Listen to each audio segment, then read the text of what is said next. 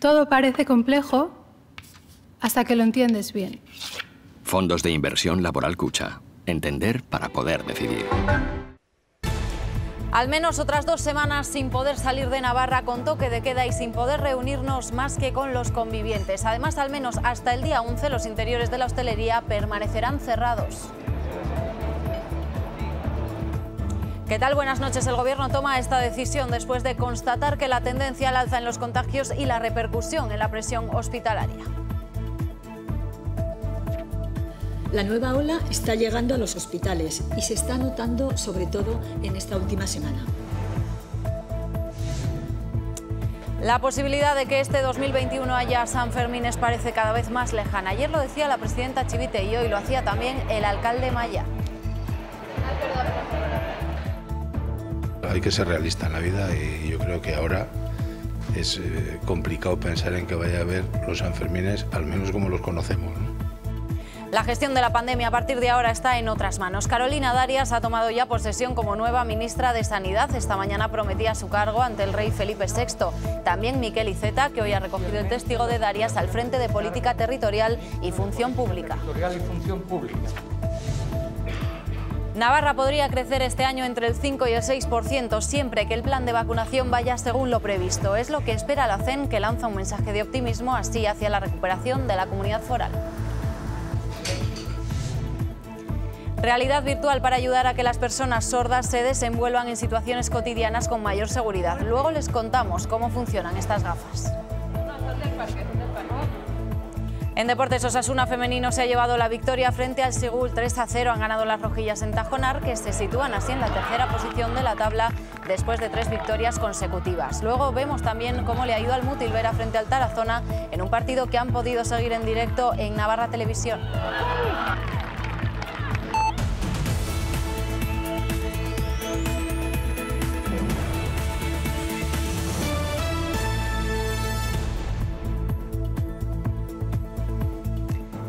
Cuatro personas han fallecido en las últimas horas con coronavirus en Navarra, las tres últimas ayer y otra en días previos. Los contagios bajan pero siguen rozando los dos centenares, hoy con 191 casos y una positividad del 5,4%, menor que ayer. En la sucia hay ingresadas 30 personas, una menos que ayer. Descienden los casos en el día de hoy, pero no habla precisamente de bajada el informe epidemiológico semanal. La transmisión sigue aumentando, pero a un ritmo más suave. También la incidencia en la red sanitaria, con más camas ocupadas tanto en hospitales como en la UCI. Del 18 al 24 de enero la evolución de la pandemia ha seguido avanzando de manera ascendente, dejando un aumento del 16% respecto a la semana anterior. El lugar de transmisión más frecuente sigue siendo el domicilio con un 45%, dato que se consolida y sigue aumentando. El segundo lugar lo ocupan los ámbitos desconocidos, es decir, en los que no se sabe dónde se contagia la persona infectada. En este espacio los contagios son del 20%. El ámbito social escala la tercera posición donde se incluyen reuniones de familiares no convivientes. En estos espacios los contagios son del 20%. Por edades, descienden los casos en personas mayores de 74 años. El grupo de 15 a 34 sigue siendo el que mayor números de casos acumula, aunque las diferencias entre las tasas de edad no son muy grandes. Por zonas básicas, la pandemia desciende únicamente en Tudela, dejando 196 casos por 100.000 habitantes. Estella se sitúa como la zona con mayor incidencia, casi 300 por 100.000 habitantes y Pamplona con algo más de 225. Estos datos golpean la red sanitaria. Se produjeron 111 ingresos hospitalarios, mostrando un aumento considerable respecto a los 74 de la semana anterior. La UCI ha pasado de 7 casos a 20. El dato que no cambia respecto a la semana anterior es el de las defunciones, que se mantienen en 15. En esas estamos y por eso el Gobierno decide prolongar las medidas un tiempo más. El interior de los bares y restaurantes permanecerá cerrados al menos una semana y media más y hasta el día 15 se mantiene el cierre perimetral, el toque de queda y las limitaciones en las reuniones sociales. Por quinta semana consecutiva los casos siguen aumentando en Navarra. La situación nos sitúan en esta parte del semáforo en una situación de riesgo muy alto. La tercera ola entra en la red sanitaria, pero no la compromete de momento, estando en un nivel medio en la ocupación hospitalaria y en un riesgo alto en la UCI. La nueva ola está llegando a los hospitales y se está notando sobre todo en esta última semana. Y estos números nos llevan a seguir tomando medidas en diferentes ámbitos. En la vertiente sanitaria se ha tenido que reorganizar parcialmente la red hospitalario y hospitalaria y preveyendo habilitamos más espacios en el complejo y en otros centros hospitalarios. Sobre el calendario de vacunación, la consejera advierte de que estará condicionado por las dosis que lleguen. De hecho, a corto plazo, esta misma semana, el retraso con las dosis de Moderna hace que se tenga que modificar que se retrasaba hasta el domingo, pero que viene en el domingo 31, y esto nos ha llevado a planificación que teníamos ya hecha de jueves y viernes tener que pasar a la semana que viene. Previsiblemente en marzo comience la segunda etapa en donde se vacunará a los mayores de 80 años y también a profesionales de consultas en las que se atiendan a personas sin mascarilla durante más de 15 minutos como dentistas, otorrinos o digestivos, entre otros. Enrique Maya cuestiona las restricciones del Gobierno de Navarra en el sector de la hostelería, especialmente el cierre del interior de los locales. Dice que los datos no avalan que sean un foco de contagio, unas palabras que no han sentado muy bien al portavoz del Ejecutivo Foral, Javier Remírez. Le pide que le remita esos documentos en los que basa el argumento. El debate sobre el cierre del interior de los bares y restaurantes se ha vuelto a poner encima de la mesa. El alcalde de Pamplona cree que se está criminalizando al sector. Pues que están pagando sin de verdad ser ellos realmente los que lo están generando, una situación de salud difícil, ¿no? Enrique Maya pone en duda que el interior de los establecimientos hosteleros sea un foco de contagio. Pero los datos están diciendo que los contagios en hostelería no son muchos. El portavoz del Ejecutivo Foral le contesta. Dice que es una medida efectiva y que ha logrado bajar la incidencia acumulada. Me gustaría conocer los datos, porque igual nos aporta los datos y podemos cambiar en este caso de opinión. Insisten que la línea de actuación del Gobierno es la lucha contra la pandemia. Centrados en medidas para atajar el COVID. Sobre la posibilidad de entrar a los bares para jugar en las máquinas de apuestas, recalca que no es una excepción de la norma. Lo que dice la norma es que se prohíbe la utilización del interior de los establecimientos, en este caso para el consumo de bebidas. Subraya que las restricciones para apostar tienen que estar sometidas a un control judicial. Tener una motivación y una proporcionalidad para ello. Por tanto, no podemos confundir términos. Remírez ha puesto en valor el compromiso del Ejecutivo en la lucha contra la ludopatía. Ya saben que el Ayuntamiento de Pamplona ha planteado instalar terrazas provisionales en algunos puntos del casco antiguo de Pamplona y que esta medida ha generado cierta controversia entre los vecinos. Hoy la Asociación Navarra de Pequeña Empresa ha pedido a la ciudadanía empatía con el sector. Argumentan que es un parche, pero que les puede permitir mantener en marcha los negocios y conservar los puestos de trabajo y recalcan que serán terrazas sin música, con aforos reducidos y controladas, por lo que piden comprensión. Ya lo decía ayer la presidenta del Gobierno de Navarra y hoy lo ha repetido el alcalde de Pamplona. Cada vez está más difícil la celebración de los Sanfermines tal y como los conocemos. Hay que ser realista en la vida y yo creo que ahora es eh, complicado pensar en que vaya a haber los Sanfermines, al menos como los conocemos. Hacer un programa cultural, tener ya un programa que no dependa de la existencia no de los Sanfermines y mucha atención porque Salud hace un llamamiento a los usuarios de este gimnasio de Pamplona que soliciten cita para someterse a una prueba PCR después de que se haya detectado un brote en el local que supera la docena de positivos. En concreto se refieren a los usuarios que hayan visitado el centro entre el 18 y el 26 de enero.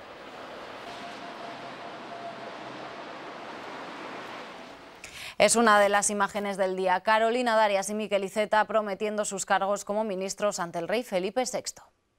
Prometo, por mi conciencia y honor, cumplir fielmente las obligaciones del cargo de ministra de Sanidad. Darias como nueva titular de Sanidad e IZ de Política Territorial y Función Pública. Tras la ceremonia a la que también ha asistido el presidente del Gobierno, los nuevos ministros han realizado el traspaso de carteras en sus respectivos ministerios. Darias ha tomado el testigo de manos de Salvador Illa, que dejaba ayer el cargo para concurrir a las elecciones catalanas del próximo 14 de febrero como candidato a la Generalitat por el PSC, un relevo que se produce en plena tercera ola de la pandemia con una fuerte tensión interna en el Gobierno con su socio minoritario, Unidas Podemos. Tiene ministra con la intervención. La lucha contra la pandemia es una guerra sin tregua. Es una guerra sin tregua. Estoy convencida que lo vamos a conseguir. Pero necesitamos una nueva llamada a la cultura de la prevención y del cuidado. Tenemos las herramientas y además tenemos la determinación para llevarlo a cabo. Yo quiero una España fuerte en su unidad y orgullosa de su diversidad. Esa es la España en la que creo y la que quiero. Y recordar lo que la experiencia de mucho, mucho tiempo demuestra. No hay fortaleza más sólida que la que surge del acuerdo y del pacto. Bueno, pues precisamente hoy, como cada miércoles, se debía haber celebrado la reunión semanal de seguimiento de la pandemia entre el Gobierno y las comunidades autónomas. Unas reuniones a las que Darias ya asistía en calidad de ministra de Política Territorial, pero será mañana cuando la presida ya como ministra de Sanidad. A su lado, previsiblemente, estará también Miquel Iceta, que tomará el primer contacto con las comunidades autónomas. En ese encuentro, por cierto, se va a analizar esa recomendación que hacía la Comisión Europea de aislar las zonas con una incidencia mayor a los 500 casos por cada 100.000 habitantes. El Gobierno foral, a través de su portavoz, también se ha pronunciado sobre estos nuevos nombramientos que dice respeta. Ha asegurado que ambos ministros tienen como prioridad la interlocución fluida con las comunidades autónomas una valoración positiva de nuestra experiencia y nuestro trabajo, desarrollado en este caso tanto con la ministra Carolina Darias, en función de ministra de Política Territorial y Función Pública, donde ha habido siempre una comunicación y una fluidez, una lealtad institucional y que estamos seguros que seguirá con esa dinámica el Ministerio eh, de Sanidad. Y en el caso de la incorporación del ministro, ministro Iceta, en el ámbito de la política territorial, bueno, creemos que es un perfil pues, más, más que adecuado, creemos que es un perfil que entiende en este caso la pluralidad de España y creemos que además es un perfil que entiende en este caso lo que puede reivindicar, lo puede querer Navarra. En las últimas horas han sido confinados más de 60 estudiantes de infantil y primaria. El curso avanza según lo previsto con modalidad presencial y pendiente de las actualizaciones que pueda traer la LOMLOE. Hemos hablado con el consejero de Educación. Actualmente hay confinados más de 1.800 estudiantes en Navarra, pero dice el consejero que los centros resistan el envite de la tercera ola. Datos claros que nos indican que estamos en una situación más favorable que en las dos primeras semanas del mes de septiembre, en una situación de meseta y de estabilización, con la cautela y con un contexto siempre frágil y cambiante como es este. Jimeno pone en valor el plan de contingencia que adoptó Navarra a principios de curso y que se ha mantenido en la vuelta a clase tras las Navidades. Es decir, somos la única comunidad autónoma que tenemos grupos estables de convivencia, todos los grupos estables de convivencia infantil y primaria. Eso nos exige más en cuanto a la consideración de contacto estrecho, pero eso nos evita eh, de alguna manera cerrar centros. Unas medidas a las que el ámbito educativo tuvo que adaptarse tras la llegada del coronavirus y en septiembre más cambios con la entrada en vigor de la LOMLOE. Y obviamente la prematrícula para nosotros, obviamente el decreto nos parecía que acomodar los recursos normativos, acomodarlos a la ley, nos parecía que era pionero, nos parecía que era interesante y desde ese punto de vista, pues bueno, se va a retrasar la prematrícula hasta después de Semana Santa y eso lo que va a hacer es, simplemente es retrasar el plazo, pero la previsión y el procedimiento administrativo se hará con todas las garantías exactamente igual si se hubiese hecho en febrero. Una modificación en la norma que ha provocado el retraso de la prematrícula de infantil y primaria. El trámite se hará efectivo después de Semana Santa, pero todavía no hay fecha.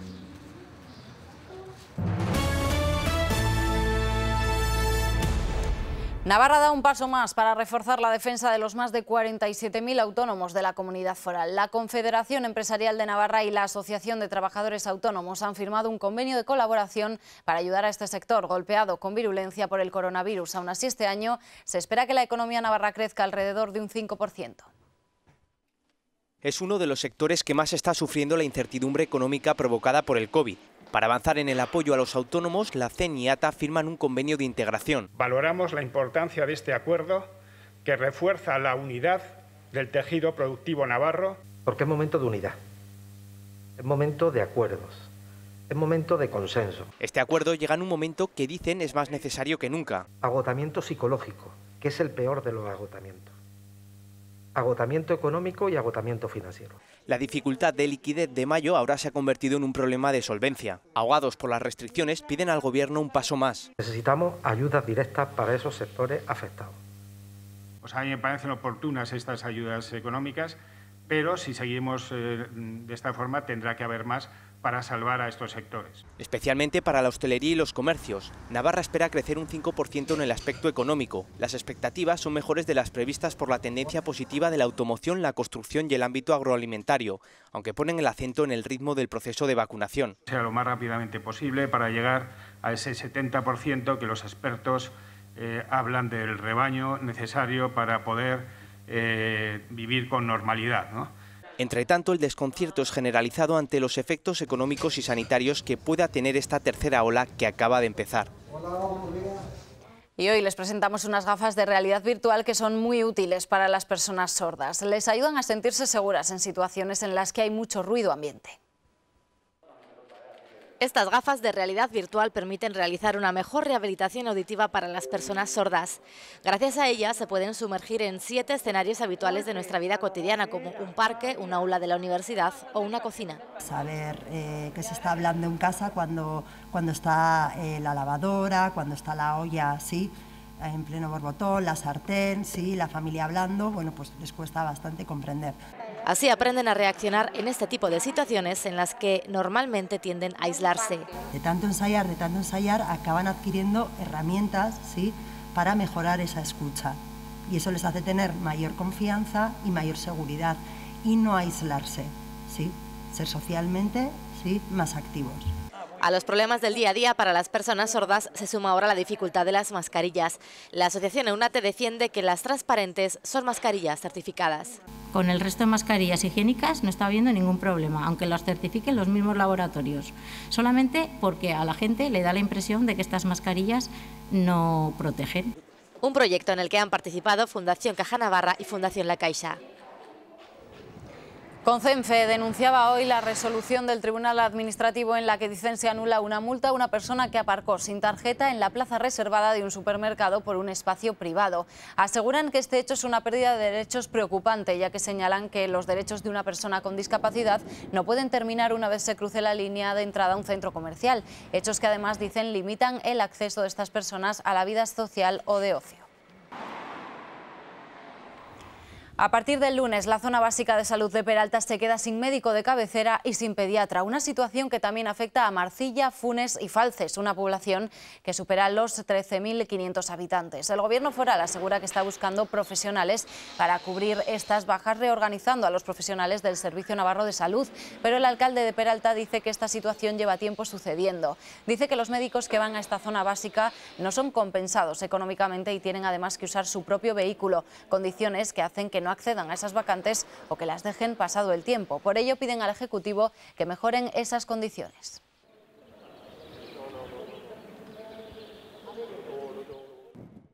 No hay médicos suficientes, eh, por tanto, como no hay médicos suficientes, va a haber plazas que se queden sin cubrir. ¿Cuáles van a ser las plazas que se queden sin cubrir?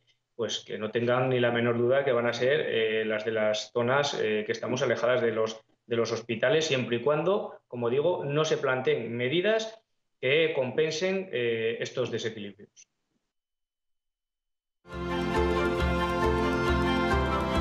El sector de los aceites de oliva de España les ofrece este espacio. Tres proyectos presentados por entidades navarras recibirán financiación dentro del área Economía del Conocimiento, impulsada por la Euroregión, iniciativas que abarcan sectores como la agricultura o la industria agroalimentaria. 400.000 euros para financiar siete proyectos que pretenden fomentar la interrelación entre las tres regiones bajo una perspectiva europea. Navarra liderará esos tres programas a través de las entidades que pondrán su conocimiento al servicio de la aeronáutica, la industria agroalimentaria o la economía de la salud. Pero además los 12 representantes de la comunidad foral participarán en el desarrollo de otros proyectos en el campo de la construcción sostenible o las energías renovables. El objetivo es unir las tres regiones a través de empresas de referencia en los sectores y contando con la colaboración de centros de conocimiento como las universidades. Un trabajo en común que impulsar después en el resto de Europa.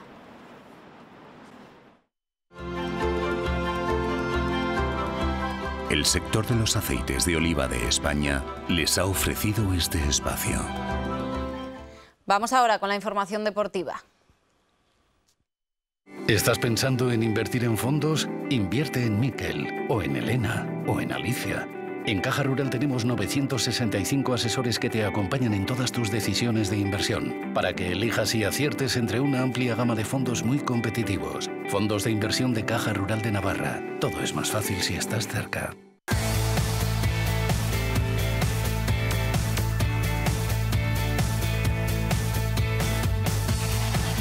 Gran partido de Osasuna femenino que se ha llevado la victoria en Tajonar frente al Sigul. Las rojillas han estado muy acertadas de cara a la portería, poniendo un 3 a 0 en el marcador. María González ha marcado el primero y Sara Carrillo ha anotado el segundo y el tercer tanto. Yosune también lo ha intentado, aunque la colegiala ha anulado el gol por considerar que se había ayudado del brazo para marcarlo. Con esta ya van tres victorias consecutivas. Las de Kakun Mainz se llevan los tres puntos colocándose en tercera posición en la tabla clasificatoria.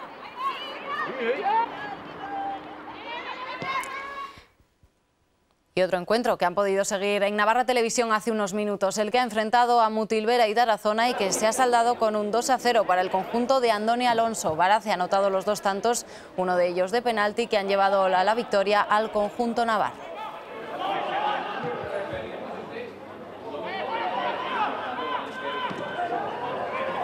Básquet Navarra no jugará este fin de semana por culpa del coronavirus. El conjunto de Juste había cambiado su partido ante el Tarragona del sábado al viernes a petición de los catalanes. Sin embargo, estos han detectado un positivo en su plantel, motivo por el cual el encuentro no se podrá disputar en Arrosadía. Sí está previsto que juegue Osés Construcción Ardoy, que recibe el sábado al Baracaldo, un partido que podrán ver en directo en Navarra Televisión.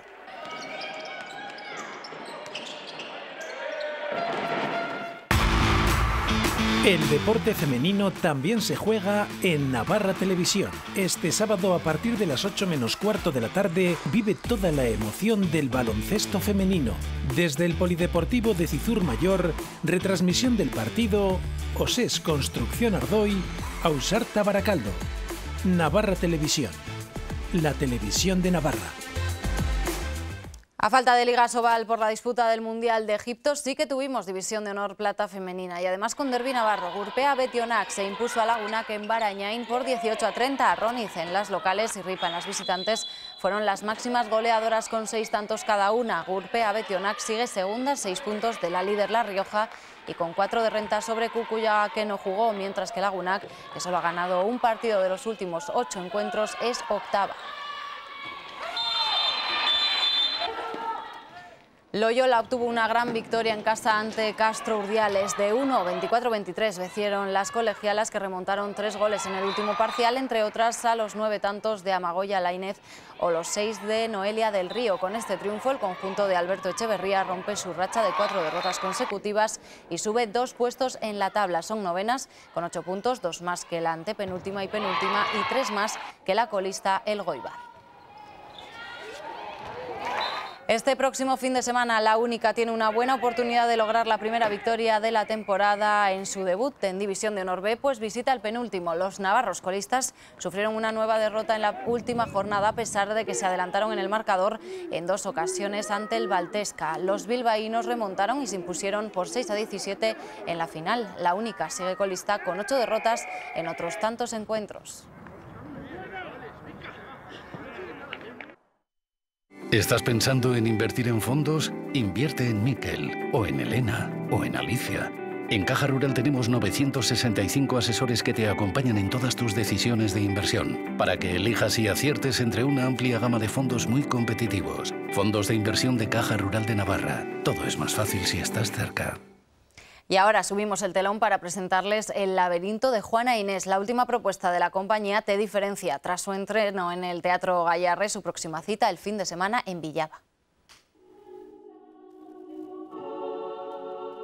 Juana, una cantante de 47 años en declive a nivel personal y profesional, ve que la industria musical la ha dejado de lado. Empieza un poco desde fuera a sentir que la están empujando para que se vaya está mal, está como en plena depresión, eh, dándose demasiado a la bebida, a las drogas y en un momento muy perdida porque, porque siente que se le está echando de, del lugar que ocupaba hasta entonces. Por arte de magia aparece en su vida Sor Juana Inés de Asbaje, su hada madrina que le sirve de inspiración para seguir adelante con su carrera musical. Fue una grande, una estudiosa increíble y dramaturga, además de poeta, y que fue silenciada porque en un momento dado decidieron que era momento de, callarla o que no metiera los deditos en la teología o, y entonces le cortaron las alas. El laberinto de Juana Inés es la nueva obra de teatro de la compañía Te Diferencia, una comedia original y contemporánea que trata la invisibilidad de la mujer a partir de los 45 años. Cuando se pasa a la época reproductiva se nos considera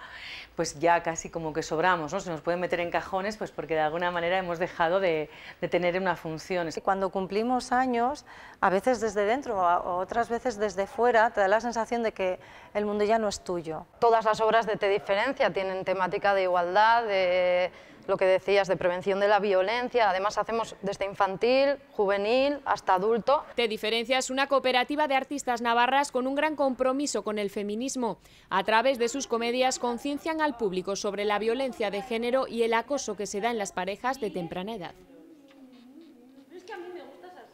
Es todo por el momento, aunque ya saben que la información continúa en nuestra página web. Feliz noche, hasta mañana.